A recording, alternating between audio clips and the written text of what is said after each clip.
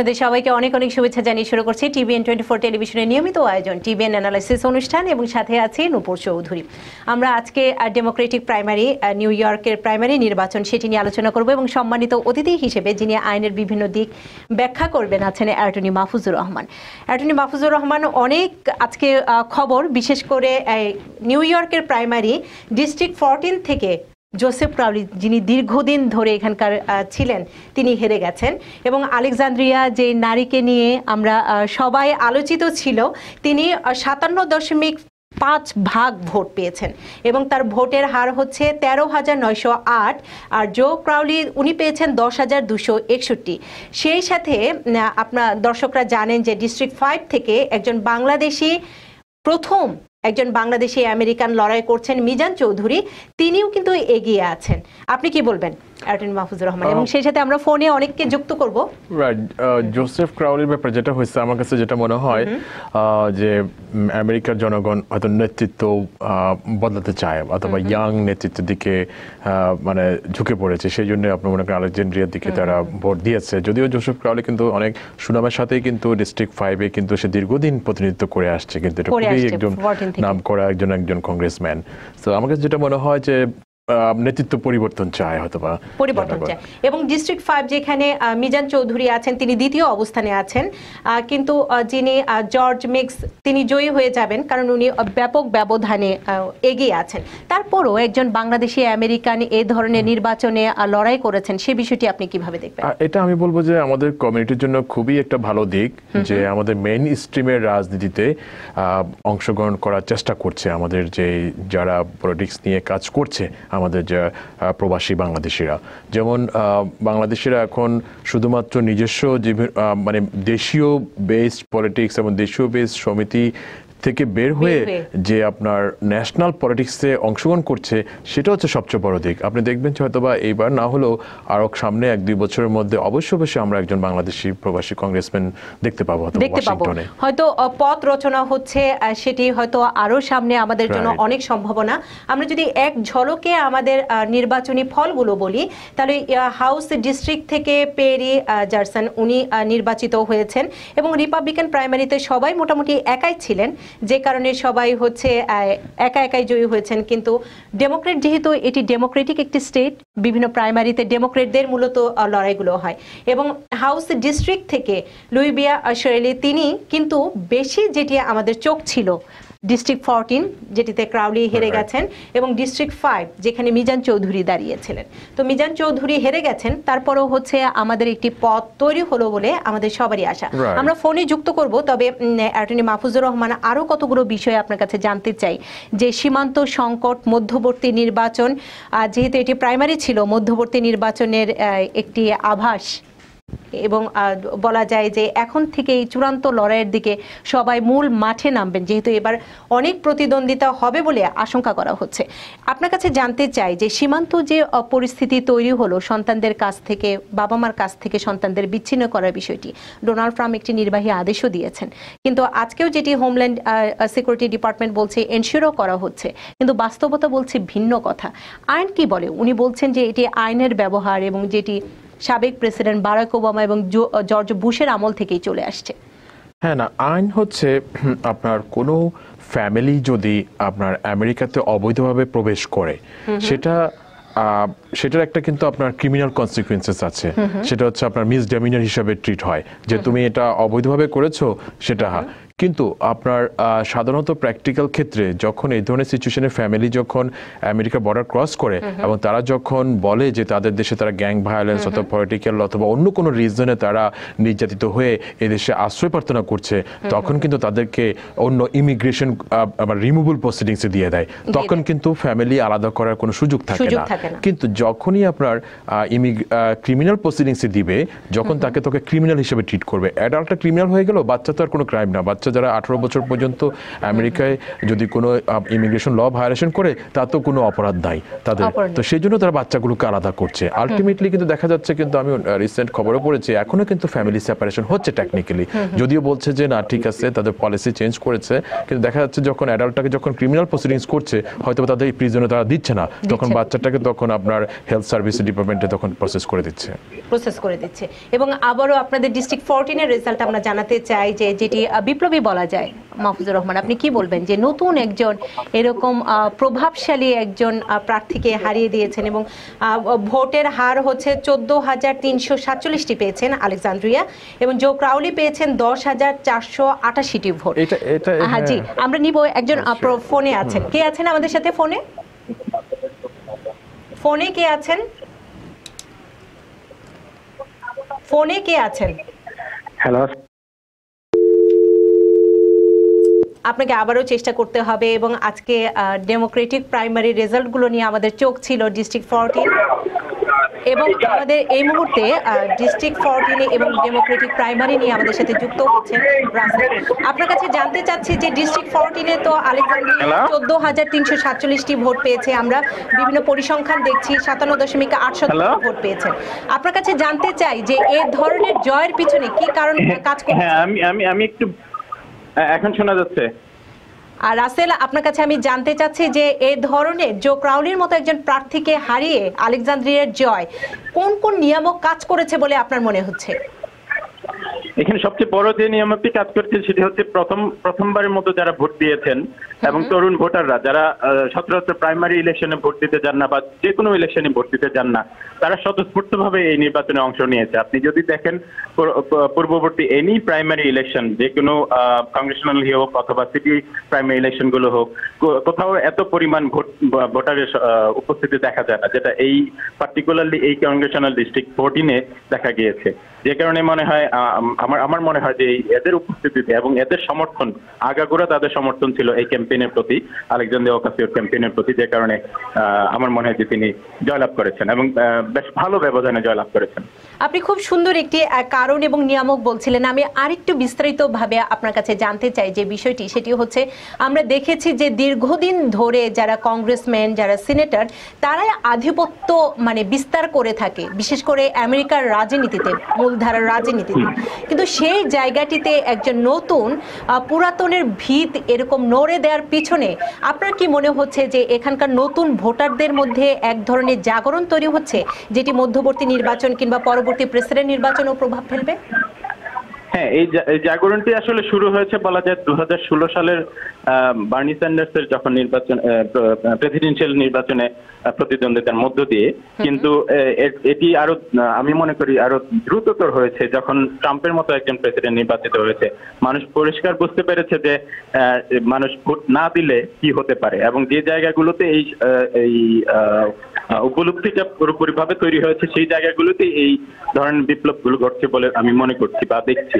এবং এটা প্রতীয়মান হচ্ছে। একের পর এক ইলেকশন যদি আপনি রেজাল্ট পর্যালোচনা করেন, আপনি এটি দেখতে পাবেন যে মানুষ বুঝে গেছে যে ভোট না দিলে তারা যে একজন খারাপ প্রার্থীকে প্রার্থী বিজয় হয়ে যেতে পারে এবং তাদের ভাগ্যের জন্য কতটুকু খারাপ পরিণতি হতে পারে, সেটা বুঝে গেছে বলে আমার মনে হয় যে এই ধরনের যুগান্তকারী রেজাল্ট আসতেছে। আর সবচেয়ে সবচেয়ে বড় কথা হচ্ছে যে এই ক্যান্ডিডেটগুলো, এই প্রার্থীগুলো যারা এরকম প্রাইমারিতে বিপ্লব ঘটিয়ে পাশ করছেন, তারা আসলে মানুষের পক্ষে কথা বলা শুরু করেছেন এবং এই কথাগুলো মানুষ মূল্যায়ন করছে।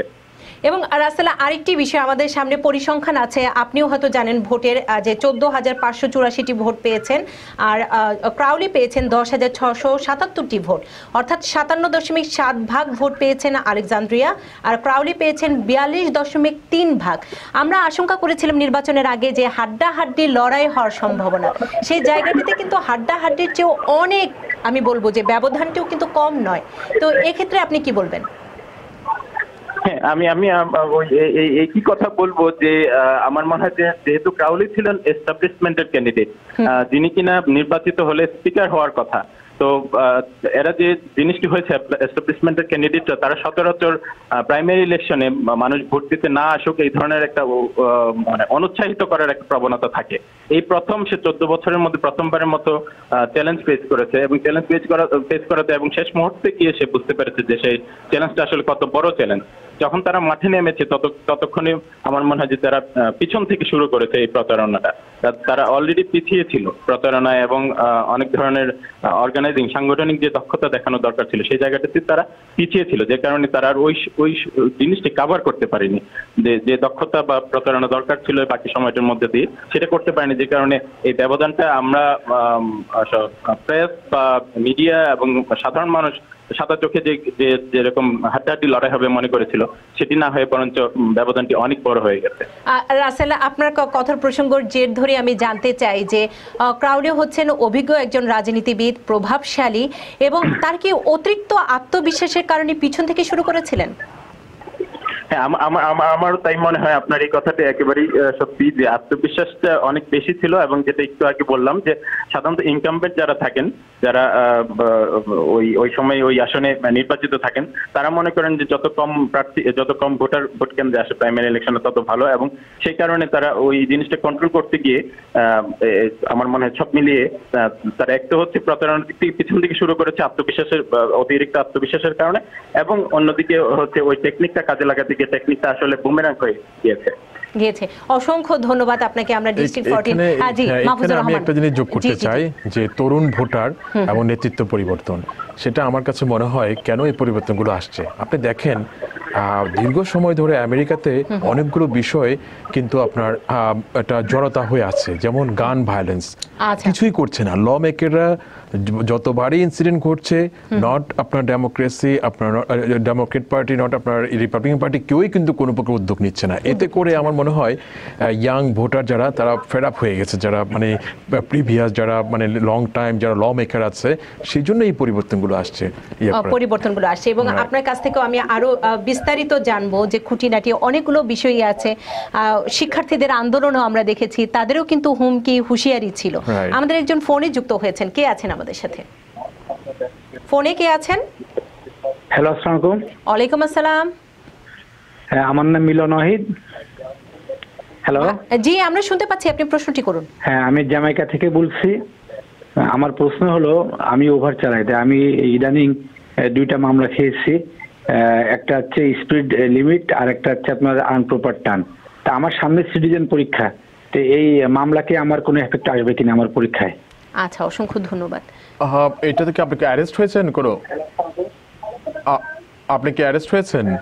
আটক হয়েছিলেন কি পুলিশের দ্বারা হ্যাঁ, উম, যদি অ্যারেস্ট না হয়ে থাকে তো সেক্ষেত্রে হয়তো বা আপনার কোনো মানে সিরিয়াস ইফেক্ট হবে না ওনার সিটিজেনশিপ অ্যাপ্লিকেশনে কিন্তু অ্যাজ এ ল ভায়োলেশন হিসাবে কিন্তু সেটা অফিসার এটা অ্যাকাউন্টে আনতে পারে।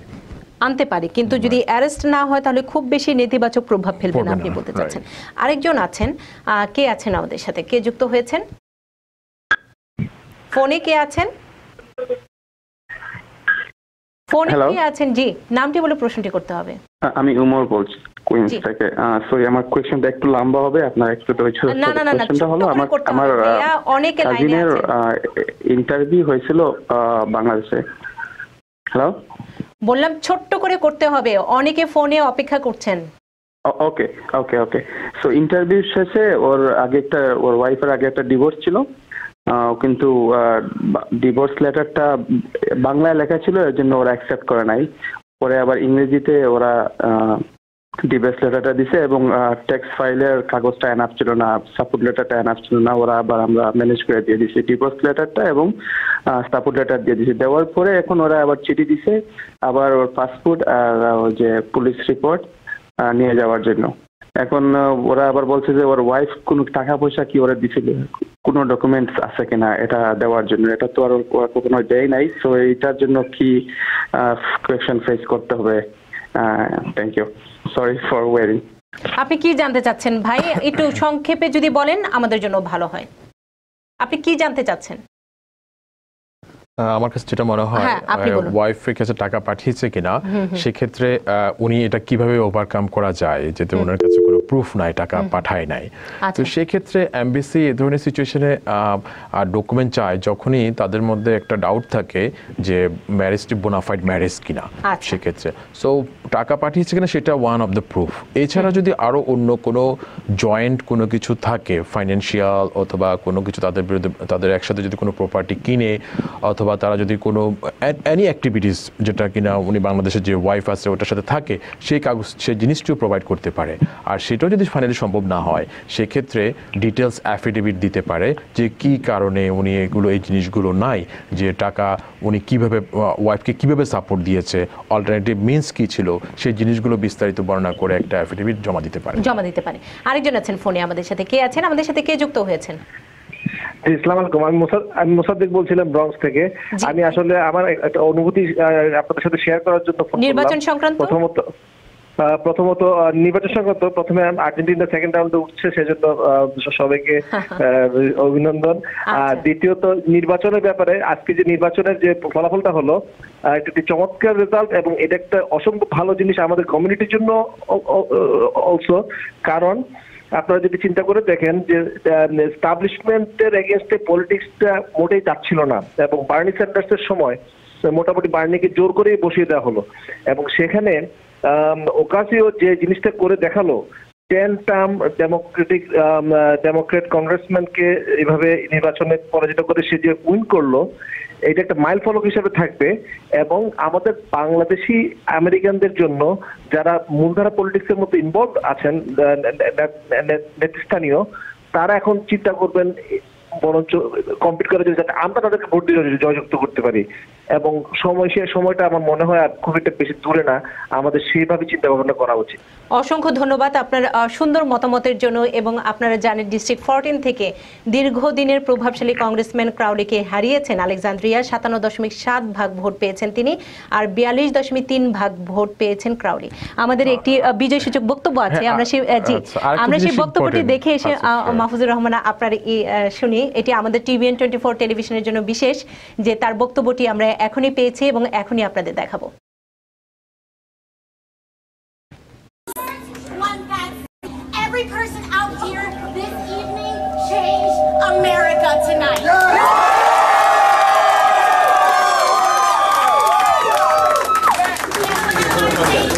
Very, very clear is that this is not an end, this is the beginning. This is the beginning,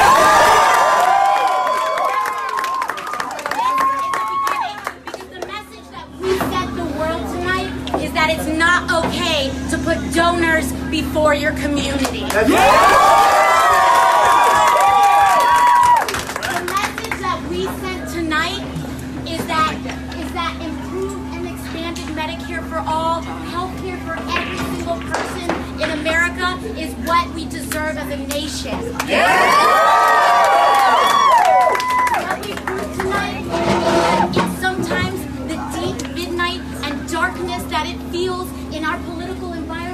that there is still hope for this nation. That is what you have given every person in this country. You have given this country hope. You have given this country proof that when you knock on your neighbor's door, when you come to them with love, when you let them know that no matter your stance, you are there for them, that we can make change.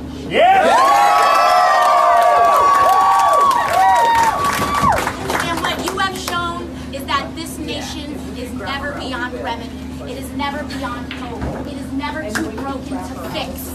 We will be here and we are going to rock the world in the next two years.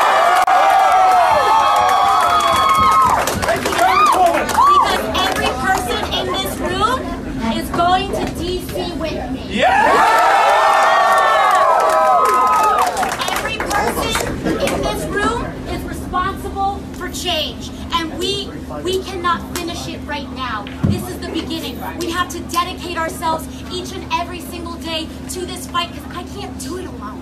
You're not alone. You're not alone. You're not alone. And we have to do this together. So not only do I need to get elected, we got a whole bunch more primaries to go. Yes! When we get to November, we should be electing a caucus of people on these beliefs and on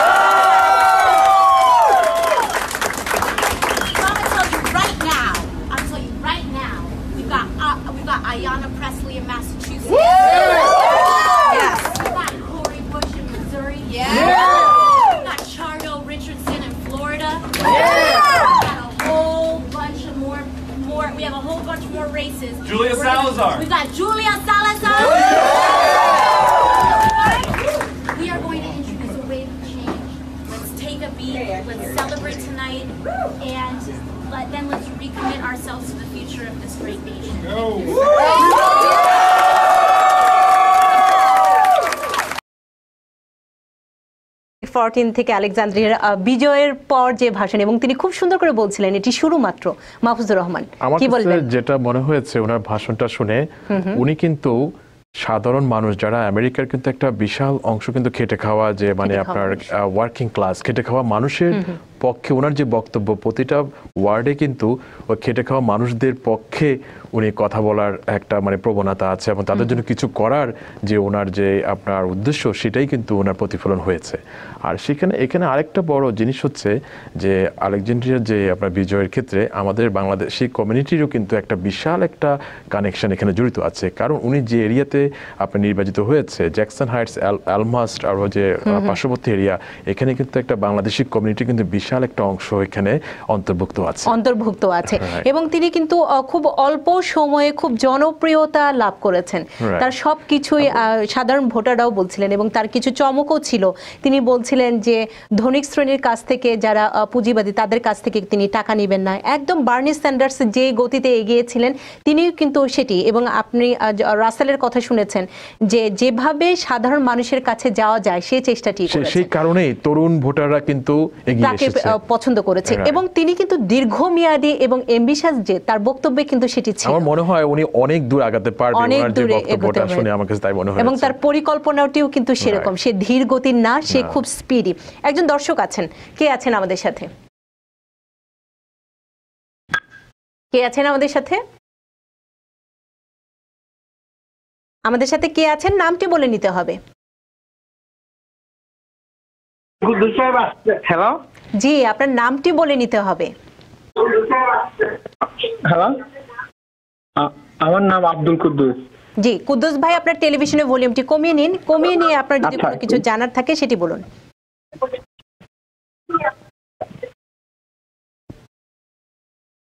hello? প্রশ্নটি করুন কিংবা আপনার মতামত থাকলে মতামত দিন।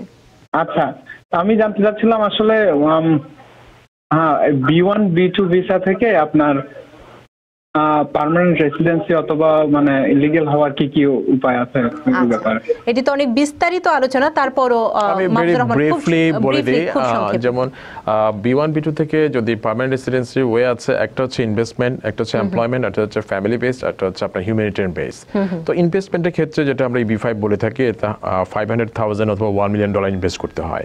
আর employment বেসে অনেকগুলো ক্যাটাগরি আছে পাঁচটা ক্যাটাগরি আছে সেক্ষেত্রে আপনার এমপ্লয়ারের স্পন্সর থাকতে হবে সেটা ডিটেলস লেবার আচ্ছা।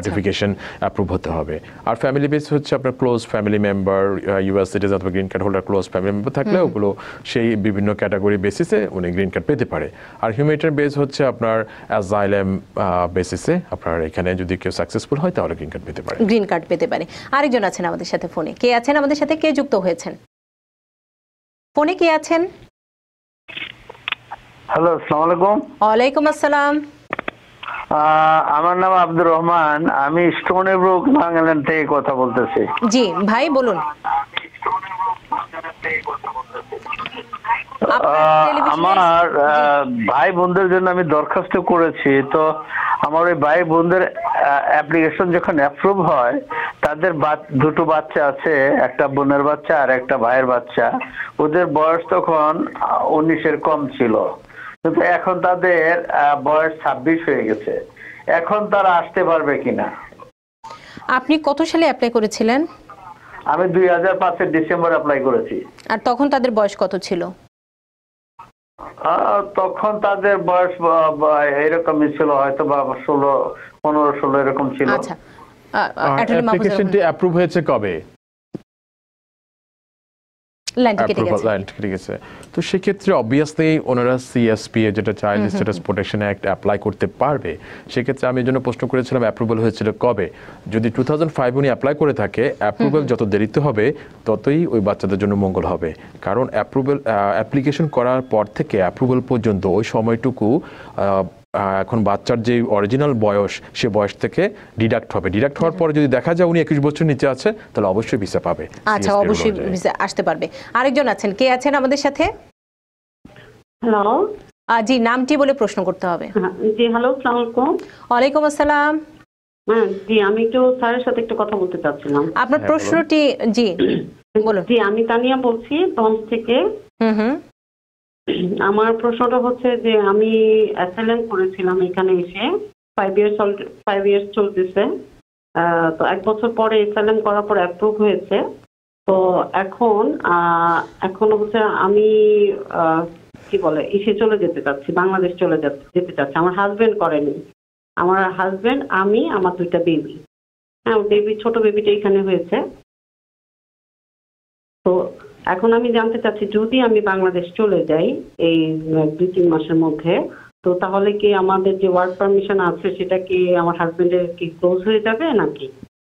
কি হবে অ্যাটর্নি মাহফুজুর এটা বোঝা যায় উনি আপনি করেছেন না আপনার হাজবেন্ড করেছে অ্যাপ্লিকেশন আমি আমি করেছি। উনি আপনি করেছেন। করেছেন হ্যাঁ অবশ্যই আপনি যদি দেশে চলে যান অ্যাপ্লিকেশনটি অবশ্যই অ্যাবান্ডন হিসেবে ধরা হবে। আচ্ছা, যেহেতু আপনি হ্যাঁ কারণ এখানে অ্যাজাইলাম করেছে যে এই হোম কান্ট্রিতে তার না যাওয়ার জন্য। এখন যদি সেই কান্ট্রি যদি সেফ হয়ে যায় তাহলে ওই অ্যাপ্লিকেশনের কোনো মেরিট থাকবে না।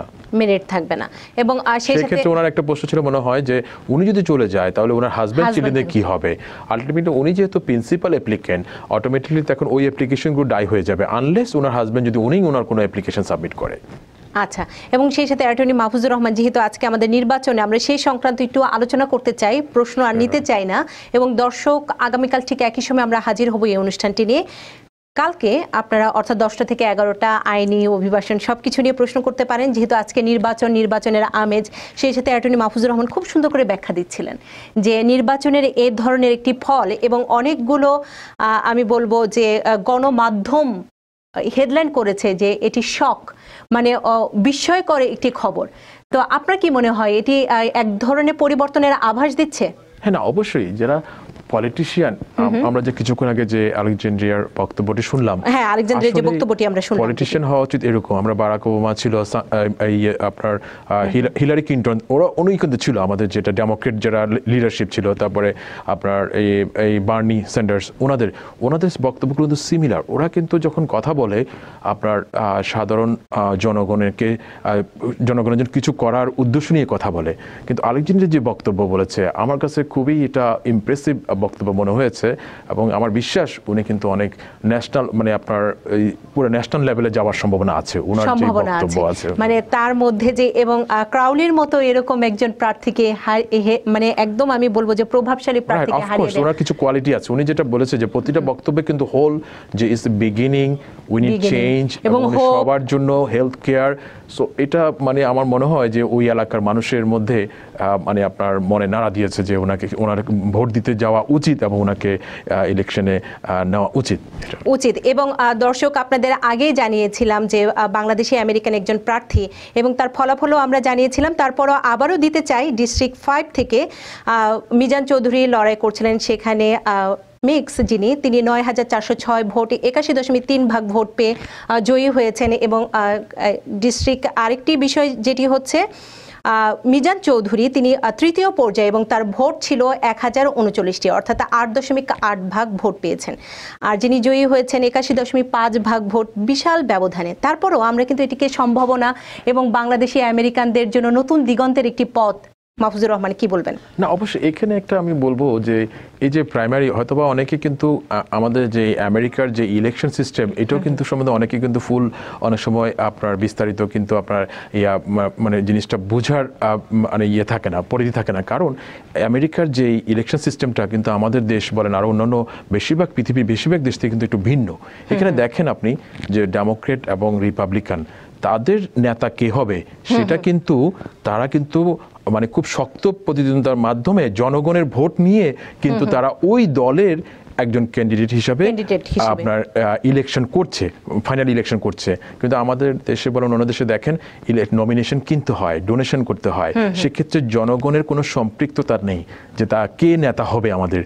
আপনি দেখেন এখানে যে ডিফারেন্সটা যে আমার ওই ডিস্ট্রিক্টে কে নেতা হবে ওই ওই দলের কে নেতা হবে সেখান থেকে কিন্তু ওই- এলাকার জনগণই কিন্তু ভোট দিয়ে কিন্তু সেটা নির্বাচিত করছে।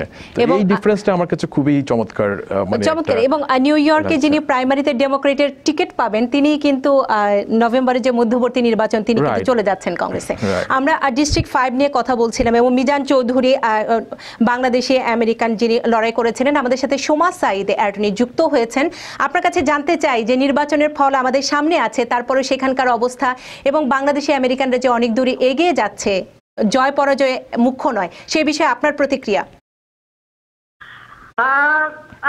আজকে অনেক আহ, বাংলাদেশি আমেরিকানদের খুশি হওয়া উচিত যে আমাদের সামনে মিজান চৌধুরী একজন ব্যক্তি যে অনেক কোয়ালিফাইড এবং তার ভালো এজেন্ডা আছে, সে আমাদের এই কংগ্রেশনাল ডিস্ট্রিক্ট ফাইভে সে দাঁড়িয়েছে এবং এই ডিস্ট্রিক্টটাকে ভালো করতে চেয়েছে যে জব তারপরে হলো অ্যাফোর্ডেবল হাউজিং অ্যাফোর্ডেবল কেয়ার তারপরে যে এলমন্টে যে highest cancer rate in the nation সেই সব নিয়ে কাজ করতে চেয়েছে। তো বাংলাদেশি আমেরিকানদের খুবই প্রাউড হওয়া উচিত।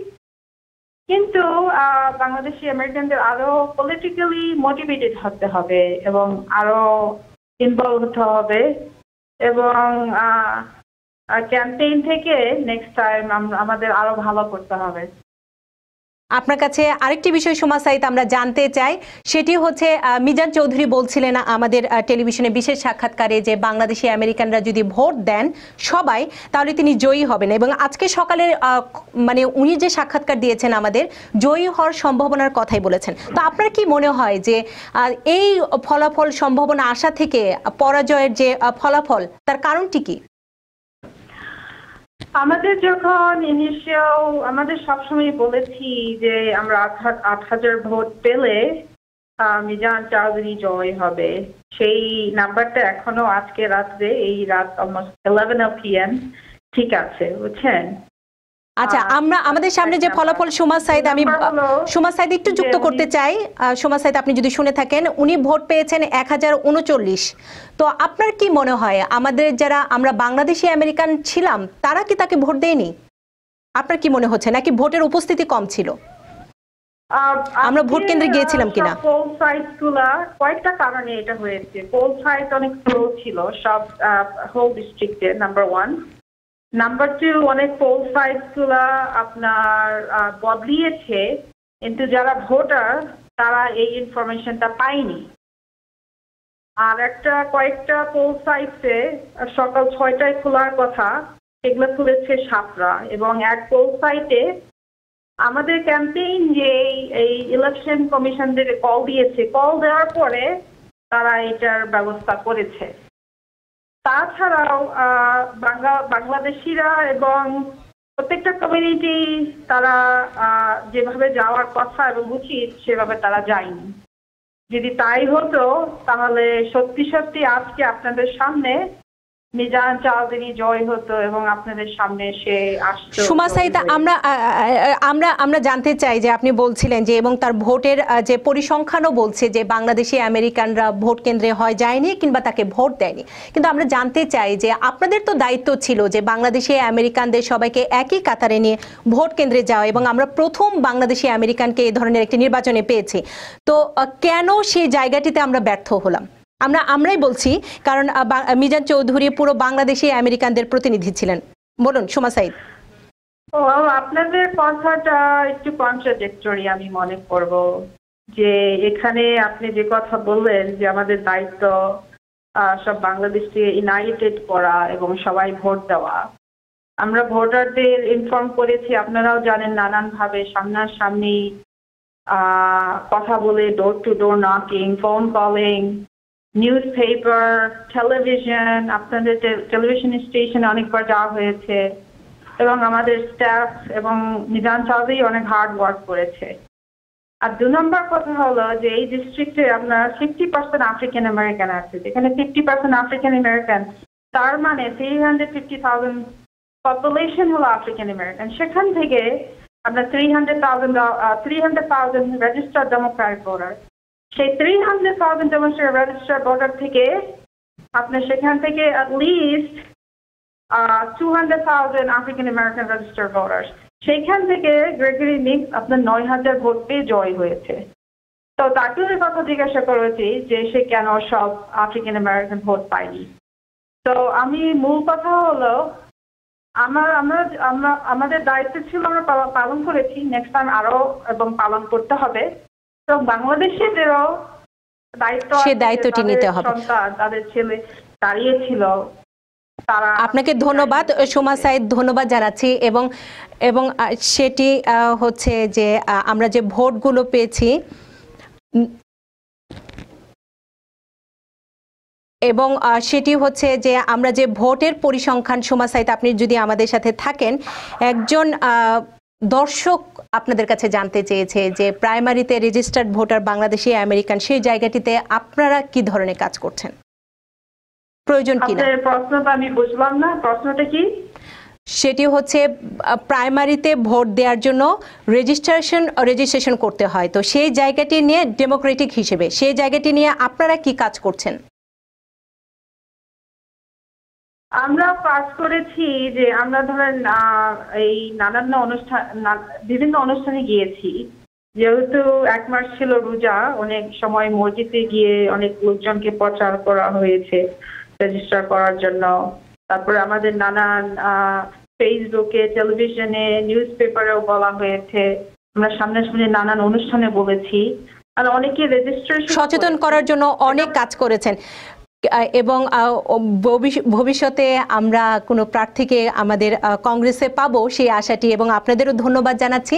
তবে আলেকজান্দ্রিয়া যে বিপ্লব করেছে সেটিও আমাদের মাথায় রাখতে হবে যে আমরা অনেক কাজ আর সুন্দরভাবে করতে পারতাম এবং বিশেষ করে আমাদের টেলিভিশন আপনাদের সাথে সবার সাথে খুব সুন্দর করে কাজ করেছেন। এবং সুমা সাইদ আপনাকে অসংখ্য ধন্যবাদ। মিজান চৌধুরী আর রেজাল্ট ফলাফল কি হয়েছে সেটি বড় কথা নয়। বড় কথা আমরা লড়াই করেছি লড়াইয়ের মাঠে নেমেছি এটিও অনেক বড় পাওয়া। আপনাকে অসংখ্য ধন্যবাদ।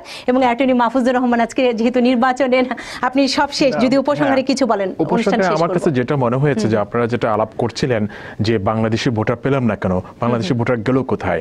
আমার কাছে যেটা মনে হয় যদি কোনো ক্যান্ডিডেট যদি কখনো আমাদের যে বাংলাদেশি ব্যাকগ্রাউন্ড মানে ইলেকশনে দাঁড়ায় উচিত হবে আমার মনে হয় হোল কমিউনিটিকে এক করা এবং তার যে এজেন্ডা থাকবে সেটা হোল কমিউনিটির দিকে ফোকাস করা। অবশ্যই বাংলাদেশি কমিউনিটির প্রতি এমফেসাইজ থাকবে নট ফুল রিলাই যেমন আমার কাছে এখানে একটা জিনিস আপনার পয়েন্ট আউট হয়েছে যে আট হাজার ভোটের প্রতি কিন্তু উনি হান্ড্রেড পার্সেন্ট রিলাই করতে চেয়েছে অথবা শুধু বাংলাদেশে যদি আট হাজার আসে।